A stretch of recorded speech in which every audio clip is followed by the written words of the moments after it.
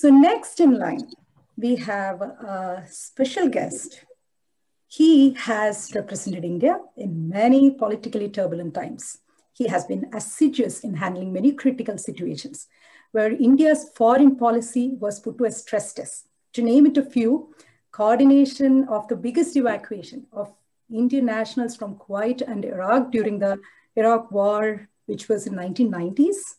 And uh, he also represented India in Canada in the early 1980s during the Khalistan crisis. And um, he was physically assaulted by militants in Winnipeg.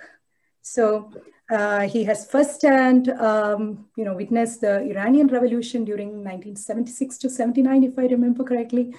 So he has been um, a friend of challenges. എന്നും challenges എടുക്കാൻ ready ആയിരുന്ന ചാലഞ്ചുകളുടെ സന്തത സഹചാരിയായിരുന്ന ഒരാളാണ് അടുത്തത് V welcome Shri K P Fabian former Indian ambassador analyst writer professor in symbiosis university Pune വാ is there anything that you cannot handle So Fabian, who is originally from Udayam Perur, Kerala and currently residing in New Delhi. And we welcome you to share your political points or viewpoints, wisdom to the audience. Welcome, Sri KP Fabian.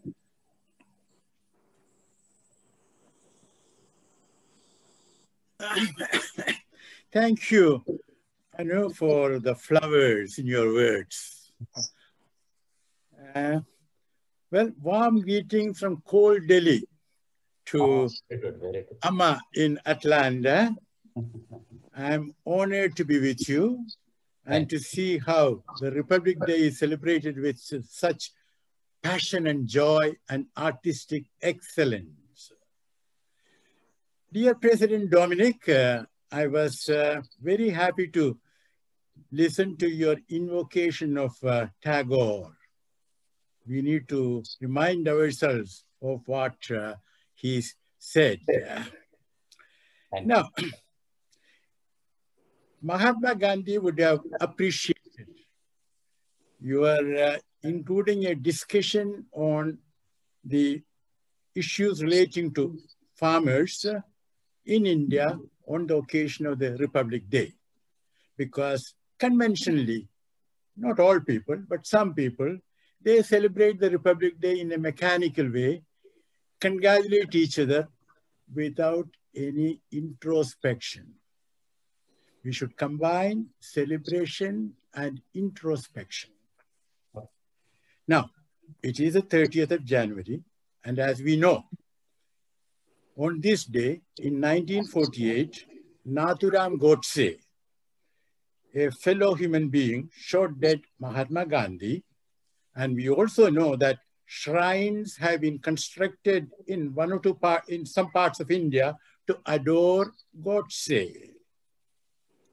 In fact, the mainstream media did not tell us today that it was uh, the day of Gandhi's uh, martyrdom. Now, I want to raise a question. To what extent India has moved away from Gandhi's motto? It was not only a motto, eh, which he practiced uh, at the cost of his life. His motto of fearless fight against injustice. Now, I want to say a word about uh, the legislation. It is, uh, you know, uh, in the, I'm taking it from the Gazette of India, and uh, it is, uh, one second, I got it. This is Act, eh, these are acts, and these are not bills. Eh? 21 of 2020. I'm reading out to you, permit me, just one clause, 13. No suit, prosecution, or other legal proceedings shall lie against the central government or the state government or any officer of the central government or the state government or any other person in respect of anything which is in good faith done or intended to be done under this act or, or of any rules or orders made thereunder. Now, I want to draw your attention to the words or any other person in respect of anything which is in good faith done or intended to be done. Well, I'm not a lawyer, but uh, I doubt, I doubt whether any lawyer employed by government of India would have drafted it.